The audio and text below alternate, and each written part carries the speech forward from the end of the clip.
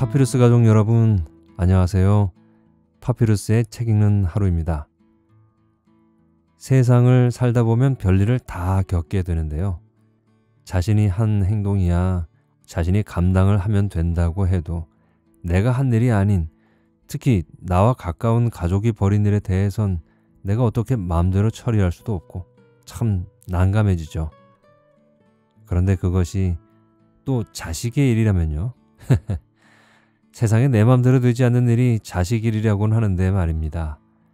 이 소설을 들으시고 여러분은 어떤 의견을 주실지 궁금하네요. 정희연 작가의 단편소설 어금니를 소개해드리겠습니다. 소설을 감상하시는 동안은 제발 편안하게 들어주시면 좋겠네요. 파피루스와 함께 소설 읽기 끝까지 함께 해주세요. 그럼 시작하겠습니다.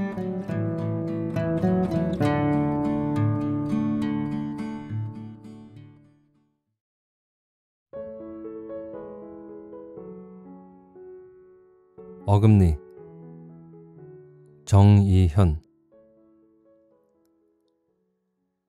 49번째 생일 아침 평소보다 30분 일찍 눈을 떴다. 남편은 혼고원이 잠들어 있다.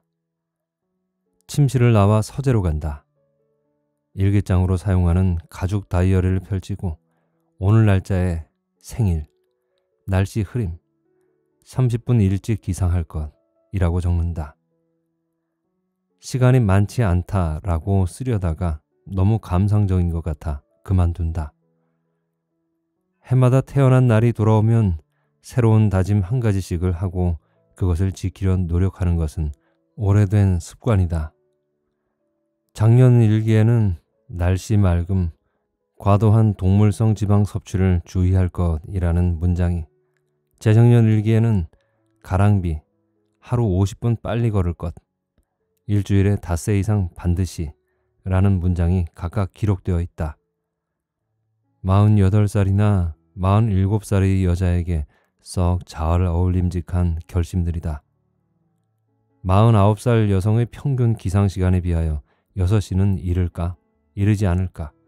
늦는 것보다는 빠른 것이 나을 거라는 결론에 도달한다. 그 편이 안전할 테니까. 여느 때처럼 아침 식사로 우유 한 컵과 토마토 한 개, 호밀로 만든 빵과 계란 프라이 반숙, 채끝 등심 몇 점을 먹는다. 치커리와 상추도 함께 먹는다.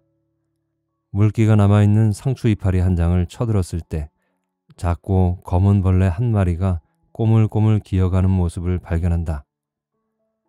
생로병사의 비밀이라는 프로그램이 방영된 후부터 남편은 유기농법으로 재배하지 않은 야채는 거들떠보지 않는다. 상추잎을 한 손에 쥔 채로 새끼손톱 거스러미만 한 녀석의 움직임을 한동안 물끄러미 지켜본다. 나는 서울 사대문 안에서 나고 성장했다. 느닷없이 출몰한 낯선 생물의 명칭을 알아맞힐 만한 능력이 없다. 식물의 잎을 뜯어먹고 사는 벌레이니 잎벌레라고 할지도 모른다. 아주 어렸을 적 쇠줄에 종일 묶여있던 옆집 개의 이름을 붙여주었던 기억이 난다. 노랑이라는 이름은 털 색깔 때문이었다. 그렇다면 이 녀석은 검둥이라고 불러야 하나? 아마 그럴 수는 없을 것이다. 명명은 책임질 수 있을 때나 하는 것임을 나는 이제 어렴풋 알고 있었다. 샤워를 마친 남편이 식탁 건너편에 와 앉는다. 아무 무늬도 없는 흰 와이셔츠 차림이다.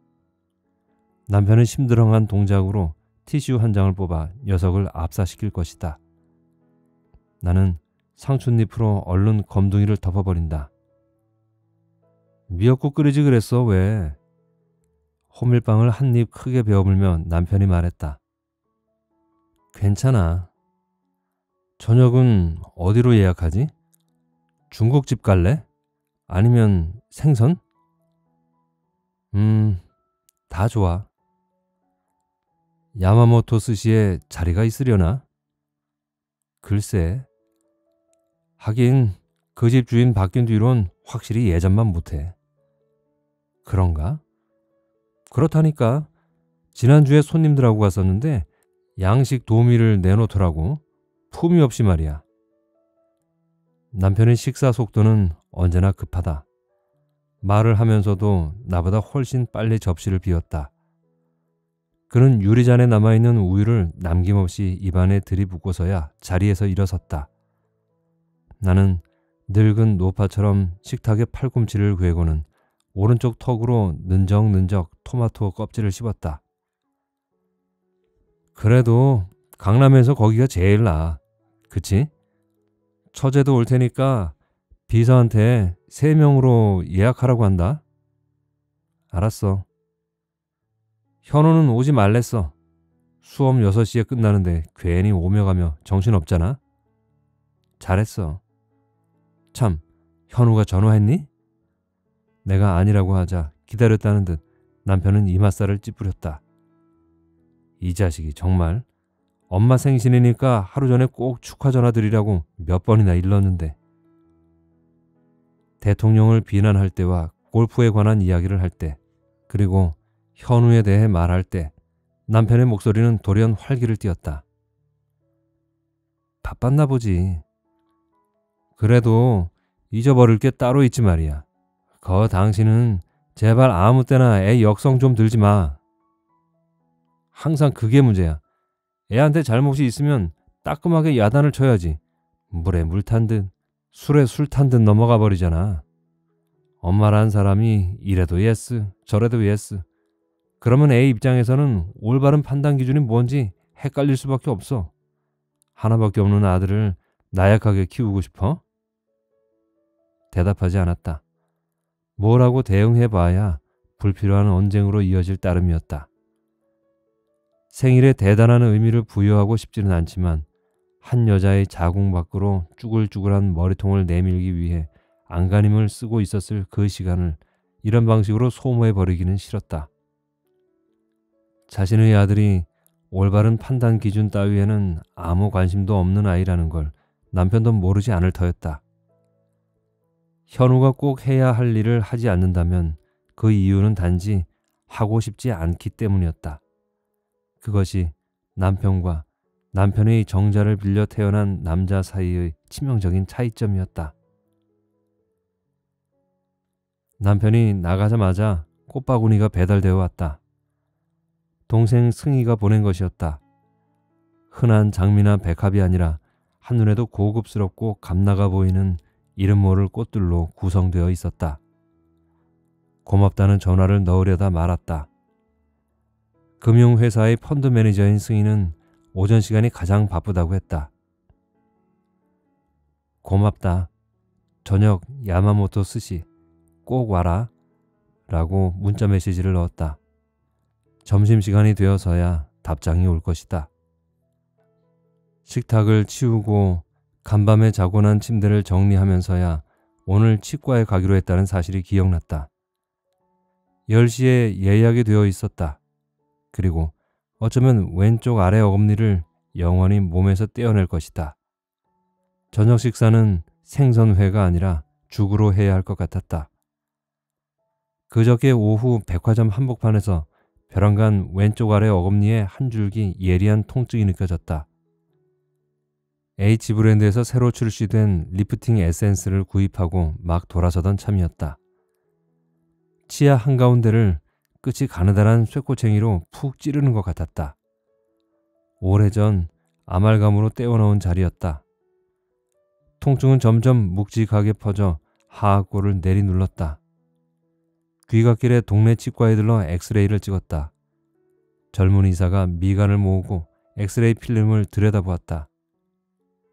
참을성이 대단하십니다. 상당히 불편하셨겠어요. 아니요. 그동안은 괜찮았어요. 나는 진지하게 말했으나 의사는 별 관심 없이 제가 하려던 말을 계속했다. 음, 아말감 밑으로 우식이 심합니다. 아, 충치가 생겼다는 말이에요. 뿌리까지 침범해서 잇몸을 누르는 겁니다. 혹시 평소에 왼쪽 머리가 쑤신다거나 하는 증상 없으셨어요? 이 치아 때문일 가능성도 있습니다. 간혹 편두통을 느낀 적이 있었지만 그게 왼쪽이었는지 오른쪽이었는지 아니면 머리 꼭대기의 통증이었는지 가물가물했다. 일단 뜯어봐야 확실히 알겠습니다. 신경치료를 해서 살릴 수도 있고 불행하지만 살리지 못할 가능성도 있고 살리지 못한다면요? 발치하게 될 수도 있습니다. 아예 뽑기에는 좀 아쉬운 연세일 수도 있는데 한편 치아 상태로만 보면 쓸 만큼 쓰신 것 같기도 하고요. 어떻게 오늘 치료하시겠습니까? 아니면 선뜻 그럼하고 하지 못한 건 이를 뽑아야 할지 모른다는 말보다 쓸 만큼 썼다는 말에 충격을 받아서였다. 안내 데스크의 여직원이 시키는 대로 이틀 뒤로 날짜를 잡았다. 생일이었다. 의사가 처방해준 진통제를 삼키자 통증은 바로 잦아들었다. 약속은 10시. 그러나 9시 55분에 맞추어 치과 문을 연다. 더도 덜도 아닌 딱 5분 먼저 도착하는 습관이 몸에 뱄다. 부주의로 타인에게 폐를 끼치는 건 싫으니까. 마스크로 얼굴의 절반을 가린 의사가 진료실로 들어선다. 그가 시키는 대로 나는 아 입을 크게 벌린다. 조명이 몹시 밝다. 자, 조금 따끔합니다. 의사는 나직나직하고 다정한 목소리로 통증을 예고한다. 끝이 날카로운 금속 바늘로 아랫 잇몸을 찌르는 느낌은 그러나 예상보다 미약하다.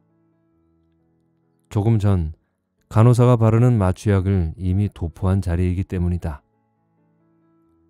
고통의 강도를 줄이기 위해 사람들은 기꺼이 고통의 분산을 택한다. 오래지 않아 턱 전체가 벙벙하게 마비되어 왔다. 고속 핸드피스가 요란한 소리를 내며 치아에 씌운 아말감을 갈아냈다. 시큰시큰한 감각을 감지한 것은 뇌가 아니라 귀였다. 머금었던 양치물을 뱉어내자 입안의 은색 가루들이 간이 세면대에 점점이 흩뿌려졌다.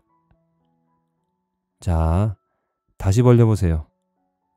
wow, 의사가 커다란 감탄사를 뱉어냈다. 그가 예후를 짐짓 과장하려 들지 모른다는 것을 나는 알아챘다. 갈수록 맑아지는 눈치가 면구스럽다는 생각이 들었다. 안타깝지만 신경치료로 어떻게 해볼 시기는 지난 것 같습니다. 의사는 여전히 부드럽고 다감하다. 민망해서 나도 모르게 열렬히 끄덕여주고 싶어진다. 그러나 있는 힘껏 입을 벌리고 있으므로 의지대로 얼굴 근육을 움직일 수 없다. 제 소견으로는 우선 발치를 하고 인공치아를 심는 방법이 가장 합리적인데요. 그의 진단은 어쩌면 과장이 아닐지도 몰랐다. 그에게 노연한 틈을 타 겨우 물었다. 임플란트요? 아둔하고 뚱한 발음이 새어나왔다. 예, 그렇습니다. 신경치료해서 금이나 레진 같은 재료로 덮어봐야 임시방편입니다. 속이 또 금방 썩어 들어가거든요. 어금니를 오늘 일단 뽑고 곧 임플란트 스케줄 잡아보죠. 지금 뽑나요? 그래야지요. 벗겨냈으니까요. 저 오늘은 오늘은 제 생일이라서요. 라고 해버리면 마스크 위로 드러난 이 의사의 눈빛에 어떤 표정이 어릴 것인가 궁금해진다. 그런데요? 라고 되물을 터다. 그때 보조 의자에 놓아둔 내 가방에서 전화벨이 울렸다. 움찔 시선이 그쪽을 향하자 의사가 조명을 껐다. 간호사가 뒤로 젖혀져 있던 진료 의자를 일으켜 세워주었다. 액정에는 모르는 번호가 깜빡였다. 042로 시작하는 지역 번호다. 현우의 학교가 있는 도시였다.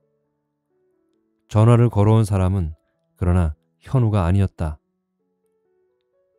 장현우 어머니 되십니까? 처음 듣는 음성이었다. 전화를 끊자마자 나는 황황히 진료실을 나섰다. 의사와 간호사가 등 뒤에서 내 이름을 불렀겠으나 귀에 들리지 않았다. 사고는 아침 9시 15분경에 일어났다. 배달되어 온 꽃바구니를 들여다보고 있었을 무렵이다. 아니, 아침 먹고 난 접시들을 식기세척기에 집어넣었을 때인가? 아니, 다섯 가지 종류의 비타민 알약들을 차례로 삼키고 있던 바로 그 순간인지도 모른다. 가시에 손가락을 찔리지도 않았고 접시가 손에서 미끄러져 산산 조각나지도 않았으며 엄지 손톱만한 크기의 비타민 C가 목에 걸려 사례가 들리지도 않았다. 그 어떤 불길하고 끔찍한 징조도 느끼지 못했다. 구름만 조금 끼었다 할 뿐 대체로 맑은 편이던 서울 날씨와 달리 그 시간 중부고속도로 T 인터체인지 부근에는 안개가 짙었고 가늘지 않은 비가 주룩주룩 내리고 있었다고 한다.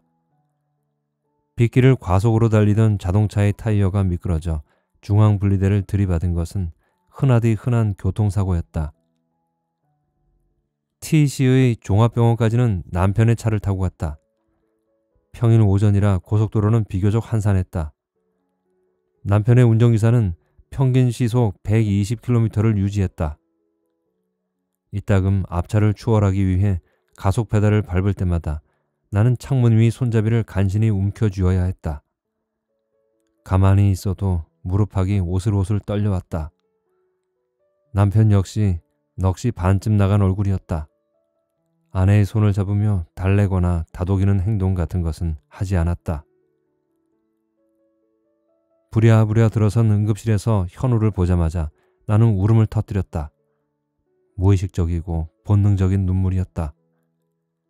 현우는 주사약을 맞은 뒤 잠들었다고 했다. 응급실 의사의 말로는 지켜봐야 알겠으나 아직 위급한 상황은 아니라고 했다. 만신창이가 되어 누운 새끼의 병상 앞에서 나는 오래 울었다. 사춘기 이후 나는 스스로가 무신론자에 가깝다고 생각해왔다. 인간의 삶을 관장하고 다스리는 절대자의 존재를 불어 부인한 건 아니었지만 특별히 긍정할 만한 까닭도 없었다. 그렇게 오만했다. 누구인지 모를 신에게 간절한 기도를 올리면서 나는 어느새 저절로 뇌까리고 있었다. 고맙습니다. 살려주셔서. 그것은 절실한 간구의 기도, 그리고 뜨거운 감사의 기도였다.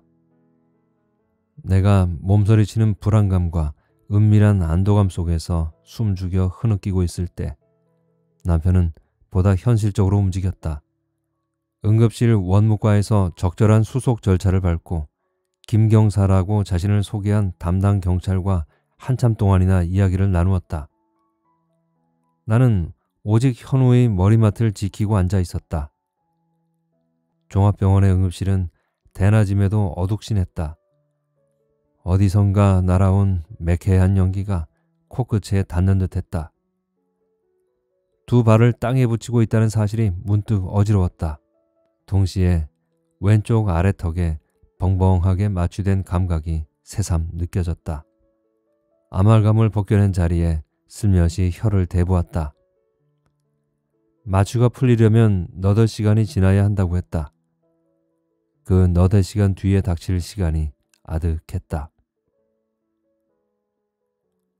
턱의 마취가 풀리기 전에 현우가 먼저 깨어났다. 어쩔 수 없이 또 눈물이 났다. 현우는 어리벙벙한 듯 몇 번이나 눈을 끔뻑였다.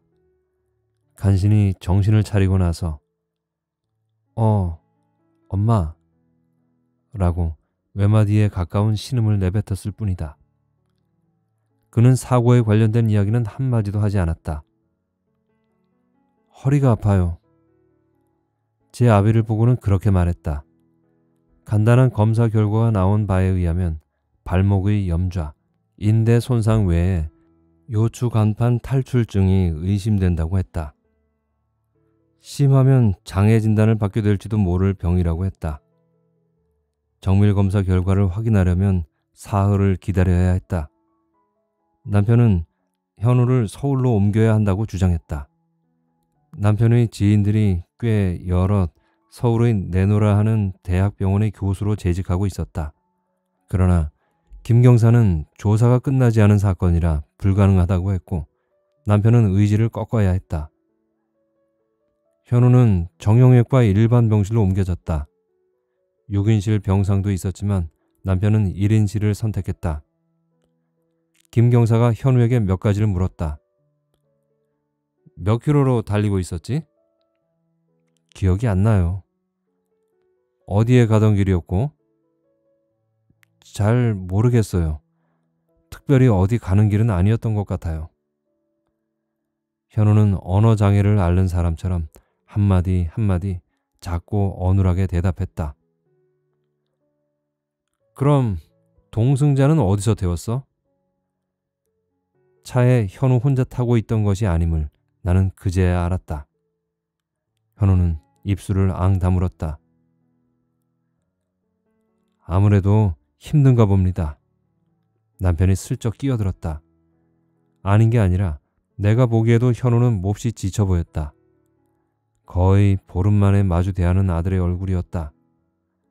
병원 이름이 영문으로 프린트된 청색 환자복은 사람을 더욱 피로해 보이게 만들었다. 빛바랜 환자복에 감싸인 현우가 안쓰럽고 또 낯설었다. 그새 더 마르고 키가 쑥 자란 듯도 했다. 스물인데 아직도 더 자라는가? 재작년 겨울 대학에 합격한 아이를 데리고 생애 첫 양복을 사러 갔었다. 그때 현우의 키는 181.5cm였다. 우리 부부의 신장은 각각 170cm와 160cm가 간당간당했다. 우리의 열성 유전자가 아이의 성장판에 영향을 미칠까봐 어릴 때부터 내심 걱정스러웠다. 아이는 무탈하게 커주었다. 축구보다는 컴퓨터 게임을 좋아했으며 나무 일에는 별 관심을 보이지 않는 성품이었다. 갖고 싶은 것이 있으면 꼭 가져야 했고 하기 싫은 일이 있으면 죽어도 하지 않았으나 외동으로 귀하게 큰 요즘 아이들이 대부분 그러리라 여겨졌다. 무엇보다 현우는 공부를 잘했다. 중학교 1학년 때부터 전교 5등 안에 꼬박꼬박 들었고 어렵지 않게 외고에 들어가더니 과기대에 합격했다. 남편은 몇 년 뒤 현우가 유학 갈 아이비리그의 학교와 전공 분야의 석학 교수까지 꼼꼼히 물색해두고 있었다. 남편과 나, 현우, 우리 가족을 향해 친척이나 지인들이 질시 섞인 부러움의 눈초리를 보내는 것을 잘 알고 있다. 너희는 대체 부족한 게 뭐니? 라는 질문을 면전에서 받아보기도 했다. 그럴 때마다 나는 겸손하고 사려 깊은 태도를 유지하려고 노력하면서 손사래를 치곤 했다. 그렇지 않아. 고민 없는 집이 세상에 어디 있다고. 그 말은 허위가 아니었다. 결혼 생활 23년 동안 자질구레한 갈등들과 너저분한 근심거리들은 언제나 상존해 있었다. 심각하진 않았대도 남편은 잊을만 하면 한 차례씩 소소한 여자 문제를 일으켰고 위암 선고를 받은 시아버지의 긴 투병 과정에서 이래저래 마음고생도 심했다. 차고 무덤덤한 아들이 아니라 애교 넘치는 딸내미가 하나 더 있었으면 좋겠다고 바라면서 현우 하나만을 낳고 단산해 버린 것을 후회하기도 했다. 순식간에 비일상적 세계에 접어들고서야 내가 살았던 세계가 잔잔하고 평화로운 바다였음을 깨닫는다. 저녁이 깊을 때까지 현우의 병실을 지켰다. 김경사를 따라 나간 남편은 늦도록 돌아오지 않았다. 7시 무렵에 승희에게서 전화가 왔다. 미안해 언니. 갑자기 야근이네. 아무래도 오늘 못 가겠다. 어, 어딜? 어디긴? 오늘 언니 탄신일 기념 디너 파티라며? 생일임을 까맣게 잊었다. 승희에게 현우의 사고 소식을 전하면서 바보처럼 다시 눈물이 그렁그렁해졌다. 어머, 세상에, 하늘이 도우셨네. 내 후배 하나는 재작년인가 고속도로에서 차 뒤집혀서 즉사했잖아. 언니, 그 사고에 그만하기가 정말 다행인 줄 알아. 내가 그렇게 생각할 때와 남의 입에서 나오는 그 말을 들을 때의 기분은 전혀 달랐다. 마흔이 넘도록 결혼하지 않은 승희에게 현우는 단 하나뿐인 조카였다. 한달음에 당장 이곳으로 달려와 주길 바란 건 아니지만 이 사건에 대해 금세 객관적인 분석을 내릴 수 있는 그 마음자리가 못내 섭섭했다. 숨겨둔 내 속내를 정통으로 들킨 듯 고약하기도 했다. 남편이 병실문을 들어선 것은 9시 뉴스가 한참이나 진행되고 나서였다. 현우는 약기운으로 잠들어 있었다. 남편과 나는 구내 식당으로 내려갔다. 식당에는 손님이 없었고 락스 냄새와 밥 냄새가 한데 섞여 후각을 자극했다. 허기 때문인지 피로 때문인지 목을 때 깊은 곳으로부터 텅 빈 구토가 치받쳐 올라왔다. 현우 엄마. 남편이 갑자기 정색을 하고 나를 불렀다. 안경 너머 그의 진갈색 눈동자는 움직임이 전혀 없었다. 아무래도 당신도 알고 있는 게 좋을 것 같아서 말꼬리를 흐리는 폼이 그답지 않다. 어쩔 수 없이 가슴이 턱 막혔다. 문제가 좀 복잡해. 왜 그래? 당신, 당신답지 않게? 라고 말할 수가 없었다. 나는 그의 다음 말을 기다렸다. 옆에 탔던 아이가 죽었어. 나도 모르게 젓가락 한 짝을 떨어뜨렸다. 허리를 굽혀 천천히 그것을 주었다. 테이블 밑에서 본 남편의 윤나는 검정 구두가 그로테스크했다. 죽었어. 그것은 슬픔이나 애도 없이 말하기에 어색한 문장이었다. 처음부터 상태가 위급했는데 결국 그렇게 되었나 봐. 그렇구나. 왜 더 이상의 말이 나오지 않는지 모를 일이었다. 자세한 건 아직 나도 잘 몰라.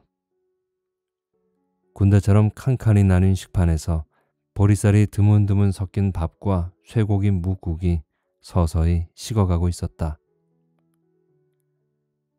현우 친구야? 나는 겨우 입술을 달싸게 물었다.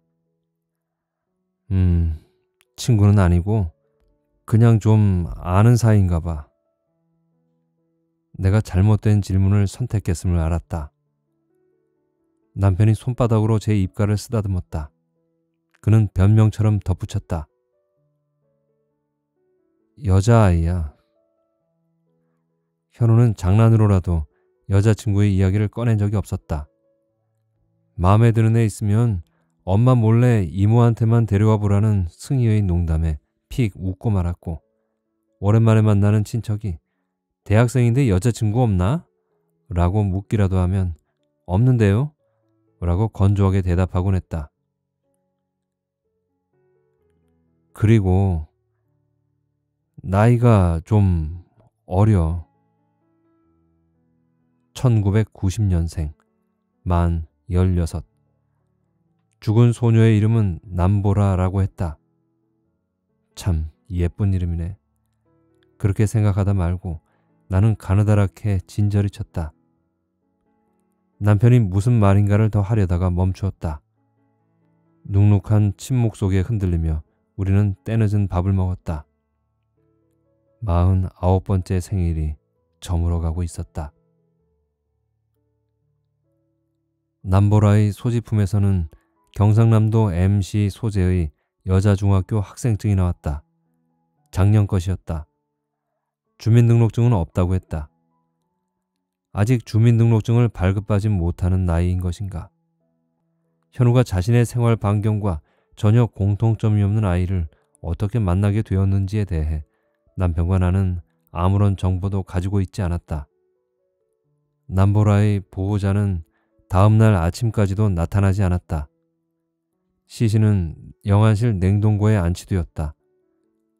가장 중요한 것은 사망 유족과의 형사 합의라고 보험사 직원은 몇 번이나 강조했다.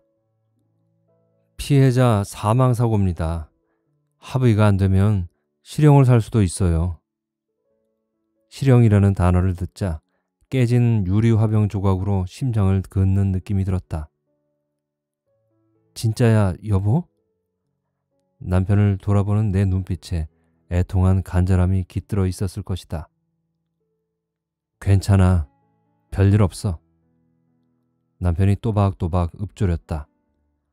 그의 강인한 어조가 미미하나마 위로가 되었다. 남편은 보험사의 담당자에게 제 명함을 건넸다. 본사에서 곧 전화가 갈 겁니다. 남편이 그 보험회사의 전무이사 이름을 대는 모습을 보면서 나는 슬그머니 눈을 돌렸다. 남편은 비평준화 시절 명문이라 일컬어지는 K고등학교와 S대 상경대학을 졸업했다. 동창의 인맥은 차마 짐작하기 힘든 곳까지 구석구석 연결되어 있었다. 웃겨, 정말. 그 알량한 학연이 뭐라고들 그러나 몰라? 평소 마뜩지 않게 여기곤 했지만 이런 경우 어쩔 수 없이 와락 의지가 되는 것도 사실이었다. 어미로서 나는 지금 무엇보다 현우를 걱정해야 했다. 자신이 낸 사고에 의해 동승자가 죽었다는 사실을 알면 아이는 돌이킬 수 없이 커다란 상처를 받을 것이다. 육체적으로도 힘들고 정신적으로도 충격을 받은 상황에서 자칫 되돌릴 수 없을 만큼 커다란 죄책감에 사로잡힐까 염려되었다. 일부러 그런 게 아니잖아. 괜찮아. 괜찮아, 현우야. 화장실 변기에 앉아 되뇌어 보았다. 현우한텐 모르는 척해. 남편의 말을 듣고서 나는 눈만 끔뻑였다. 남편이 재차 강조했다.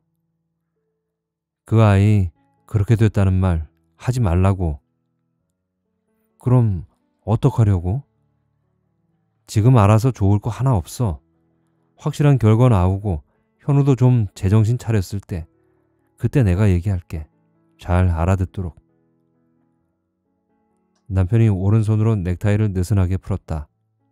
저 사람 이틀 동안이나 목을 꼭 조여매고 있었던 것인가.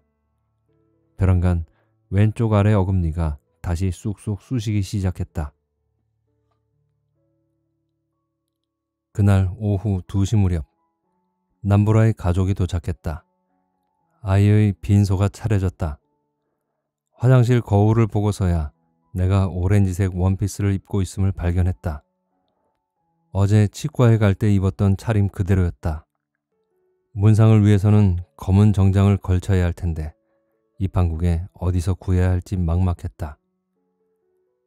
현우 아빠, 당신은 차에 검은 타이 있지? 왜? 가봐야 되잖아. 그의 부모가 왔는데. 우리는 서로의 눈을 피했다. 병원의 긴 복도 벽에 드문드문 뚫린 좁은 창으로부터 저릿한 햇살이 비추어 들었다. 남편은 빛을 등지고 선 채 말했다. 당신은 일단 돌아가 있어. 응? 급히 오느라 아무것도 못 챙겨왔잖아. 언제까지 여기 있어야 될지 모르는데 집에 들어가서 더운 물로 목욕하고 정신 좀 추스리고 와. 현우는 어쩌고? 내가 있을게. 그리고 당신보다 전문 간병인이 하는 게 현우도 훨씬 편할 거야. 남편의 설득은 진심 어렸다. 나는 그의 의도를 파악할 수 없었다. 그래도 얼굴은 비추고 가야지. 그쪽에서 합의 안 해주면 큰일이라며. 왜 이렇게 말이 많아? 남편이 느닷없이 버럭 소리를 질렀다. 휠체어를 밀며 복도 끝을 지나가던 사내가 흘끗 뒤돌아보았다.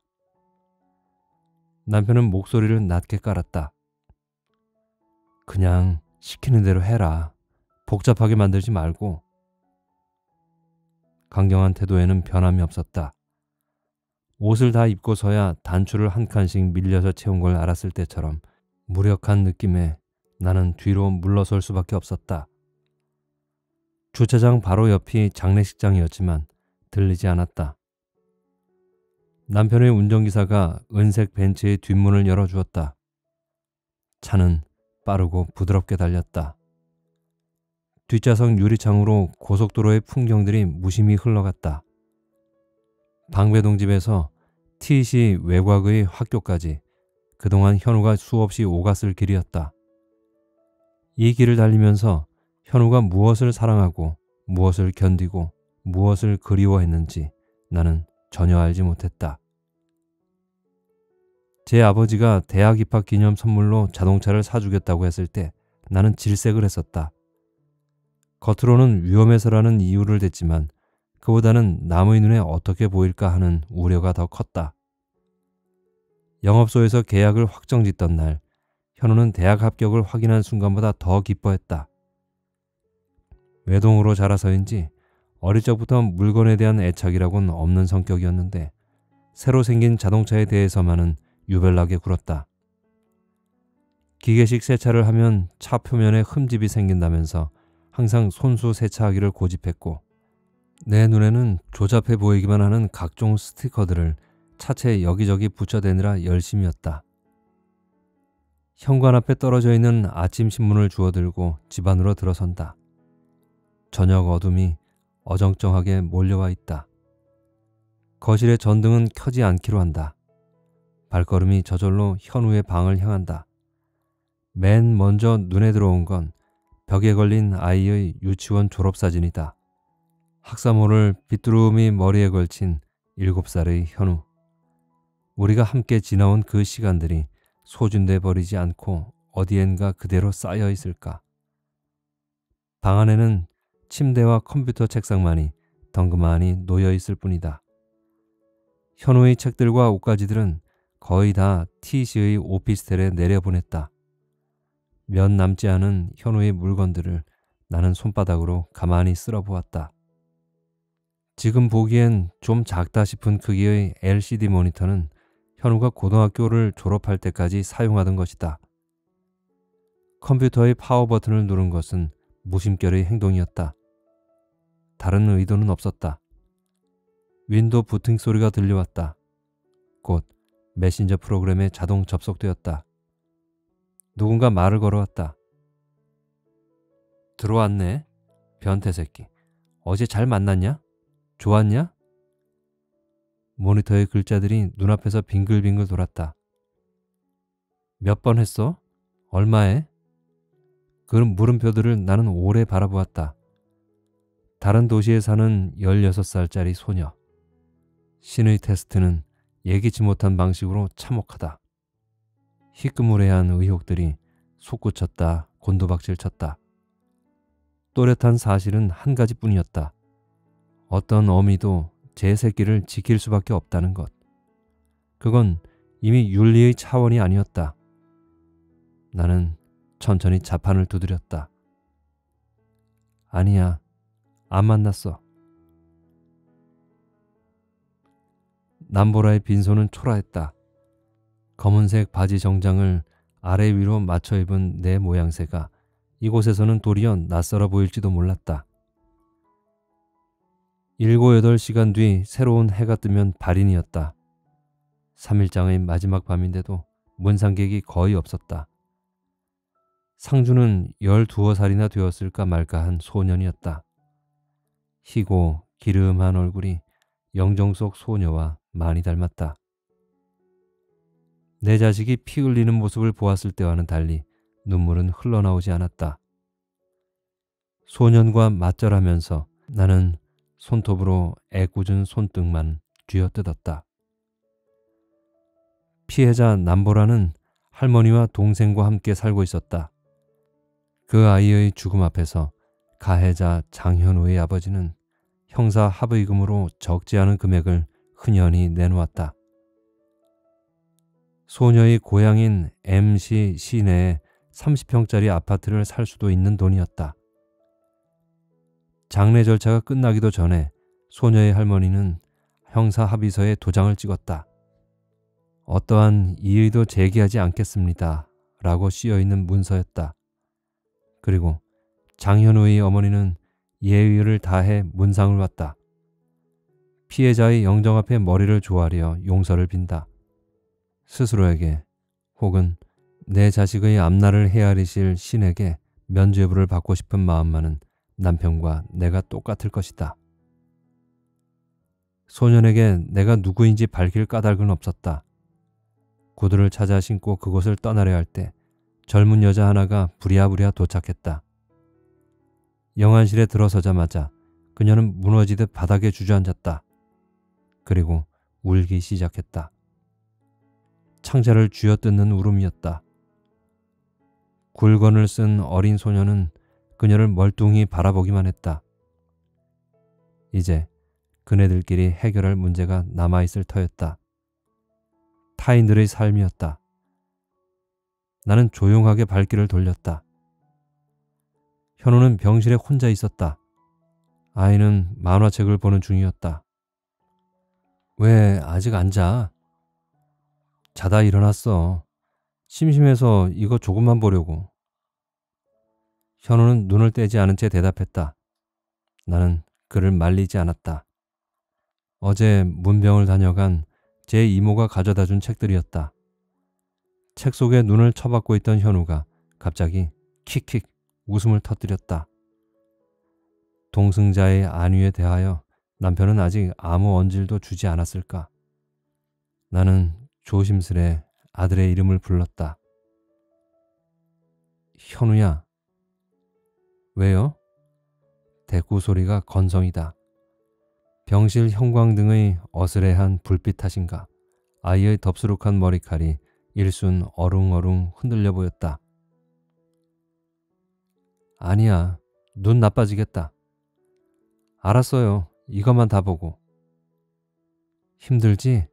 우리 아들. 괜찮아. 현우는 다시 만화의 세계 속으로 빠져들었다. 현우의 서울 이송은 곧바로 결정되었다. 고속도로를 달리는 구급차 안에서 우리 세 사람은 별다른 대화를 나누지 않았다. 현우는 우레옥의 불고기와 물냉면이 먹고 싶어 죽겠다고 했고 남편은 퇴원하자마자 먹으러 가자고 약속했다. 문제가 되는 허리는 우선 두어 주 동안 물리치료를 하고 경과를 지켜본 후 수술 여부를 확정할 예정이었다. 현우가 새로 입원한 병원은 집에서 차로 15분 거리였다. 국내 굴지의 대기업에서 운영하는 병원 로비는 여느 호텔 못지않게 꾸며져 있었다. 학교에는 병가 휴학계를 내야 했다. 남편은 아쉬워했지만 한편으론 이것으로 군대 문제를 해결할 수 있다면 전화위복이 되리라 기대하는 눈치였다. 현우는 자동차가 폐차되었다는 소식을 듣자 이 말을 우그러뜨렸다. 보닛이 완전히 박살났다는구나. 나는 은근한 말투로 일러주었다. 과장은 아니었다. 남편이 짐진 엄격하게 거들었다. 이제 다시는 운전하지 마라. 허, 말도 안 돼. 현우가 입속에서 툴툴거렸다. 그날 저녁 남편과 오랜만에 식탁에 마주 앉았다. 제법 평화로운 분위기였다. 고생 많았어. 당신이 했었지. 우리는 하나만한 덕담을 주고받았다. 다 지난 일이라는 듯 남편이 입을 열었다. 다행히 가출 신고가 안 되어 있어서. 그랬구나. 응, 부검을 막은 게 천만 다행이야. 딴 건 몰라도 부검 결과는 어떻게 손쓰기도 어렵잖아. 걔한테서도 알코올 꽤나 나왔을 거야. 미친 새끼. 아침부터 혈중 농도 0.38이 뭐야? 가만히 있어도 무조건 구속인데. 나는 다급히 그의 입을 막고 싶었다. 고기 더 할래? 아니야.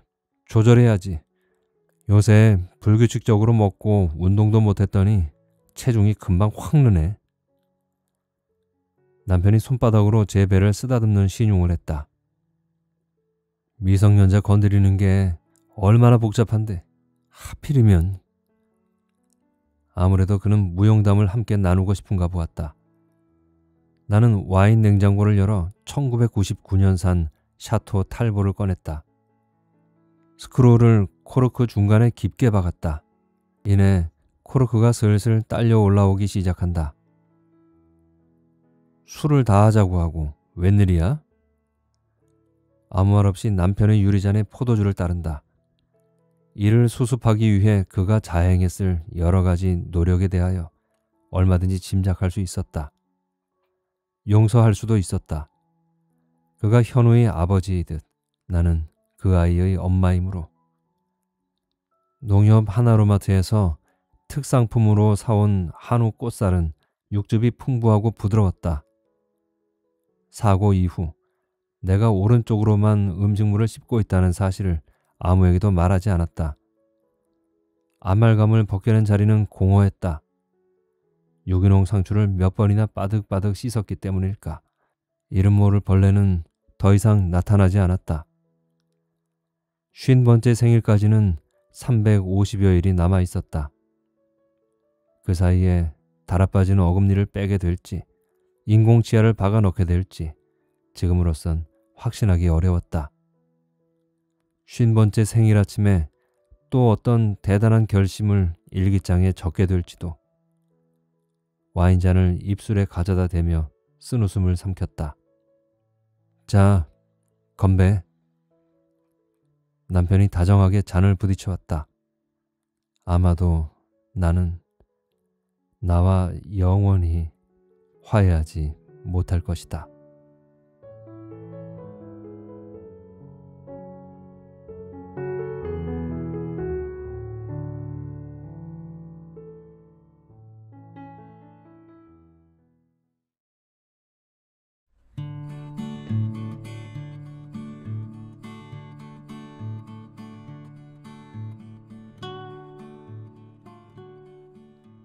참 심란하네요. 자식이 이러면 부모로선 참 난감하죠. 애지중지 귀엽고 사랑스럽게만 키웠던 아들이 이런 범죄를 저지르고 거기다가 어린 사람의 목숨을 잃게 만들었다는 이런 상황은 모든 부모가 절대 마주하고 싶지 않은 일일 겁니다. 저도 부모의 입장이 되어서 생각을 해봤어요. 그랬더니 어, 두 가지 생각이 떠올랐습니다.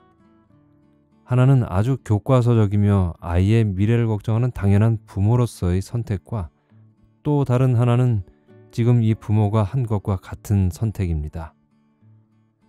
먼저 진심 아이의 장래를 걱정한다면 저는 무조건 감싸주기보다는 자신이 저지르는 행동의 결과가 어떤 것인지 정확하게 알려줘야 한다고 생각을 합니다.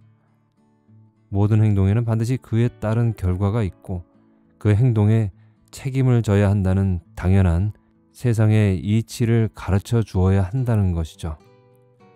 여기에서 현우의 부모는 쉬쉬 할 게 아니라 당장은 비난을 받고 상처가 남게 되더라도 기꺼이 감내하는 모습을 보여줬어야 한다고 생각을 합니다.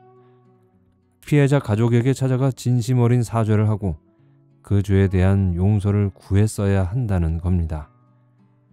그들이 용서를 해줄지 말지는 현운의 가족과는 상관이 없는 일이죠.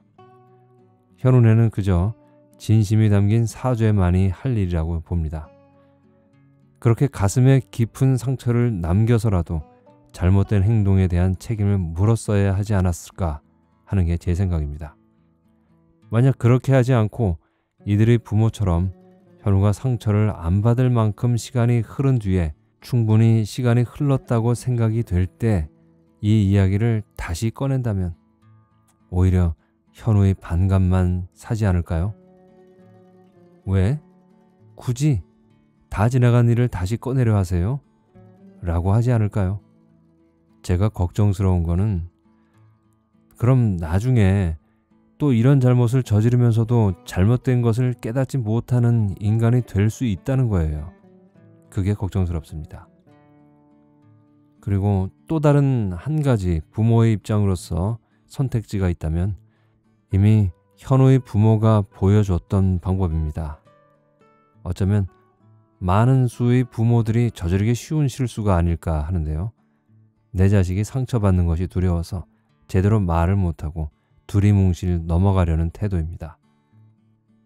아, 근데 참 솔직히 저도 부모로서 첫 번째로 언급한 태도처럼 엄격하게 자식에게 가르쳐 줘야 한다는 생각은 하면서도 마음은 그러면서도 자식이 이 일 때문에 비뚤어질까봐 그게 두려워서 솔직해지기를 차일피일 미루게 되지 않을까 우려스럽긴 합니다.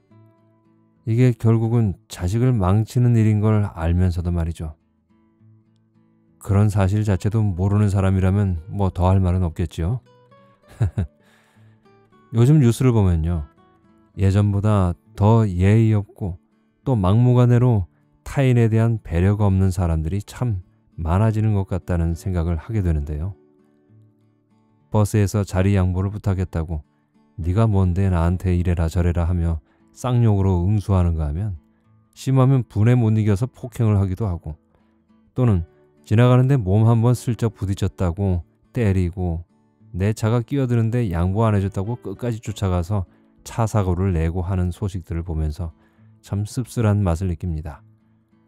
조금만 양보하면 되는데 조금만 배려하면 되는데 그렇죠. 결국 이런 타인에 대한 배려가 점점 사라져가는 건 여러 다양한 원인이 있겠지만 저는 근본적으로 자기 행동이 만들어낸 결과에 대해서 어릴 때부터 철저하게 배우지 못했기 때문이라고 생각을 합니다. 이것은 말이죠. 학교 공부를 얼마나 잘하고 또 많이 했느냐 하곤 별개의 문제인데요. 학교에서 배울 수 있는 데는 한계가 있기 때문입니다. 이런 것들은 가정에서 배워야 하는 거죠. 참, 이 소설이 저의 마음을 복잡하게 만드는 것은 단순히 이 가정의 불행한 사건과 어린 소녀의 안타까운 죽음 때문만은 아닌 것 같습니다. 이 부모의 행동에 공감이 가면서도 아, 이래서는 현우에게도 좋지 않은데 하는 우려가 동시에 마음속에 자리 잡고 있기 때문입니다. 어떻게 해야 할까요? 마땅한 답은 알지만 행동으로 할 수 없다면 그것 또한 잘못이겠죠.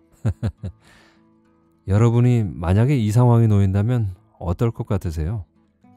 제가 괜히 편안하게 쉬실 시간에 어려운 질문으로 마음을 복잡하게 해드리는 건 아닌지 모르겠습니다.